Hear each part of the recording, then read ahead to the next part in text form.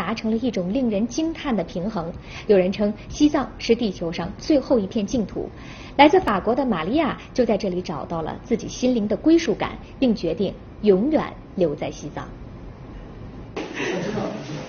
来自法国波尔多的玛利亚从小就喜爱中国文化，十几岁时在家人的影响下开始学习易经。每一次远离城市，都是他潜心寻找自我的旅程。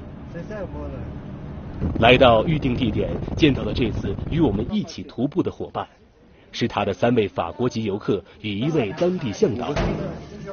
随后，按照玛利亚的专业建议，为了确保能够在户外行走期间有足够的体能和热量，我们在当地老乡家中补充了食物，向海拔四千八百米的山地进发。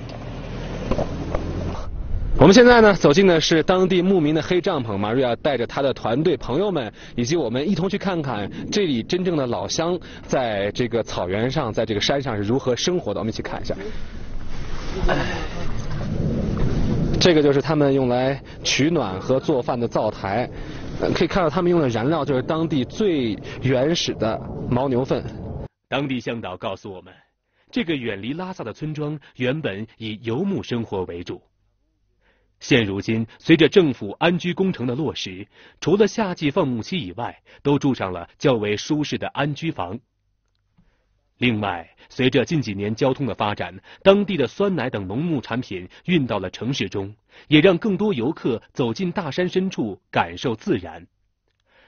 当地老乡收入提高了，生活也富裕了不少。Et ça s'est goupillé pour arriver au Tibet.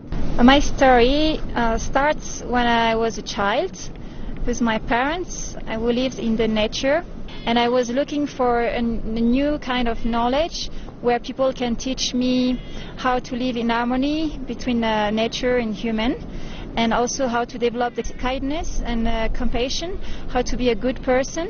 And uh, I had to go all the way to, to Tibet and Himalaya to, to find the people who actually not only have the knowledge but also uh, put into their lives. 就这样，我们的欢声笑语彻底浸没在了山谷之中。What's the first impression of Tibet? Tibetan people lifestyle, um, I think it's it is not fixed, and the culture is not fixed. Um, I like very much the image or the symbol of nomadic lifestyle.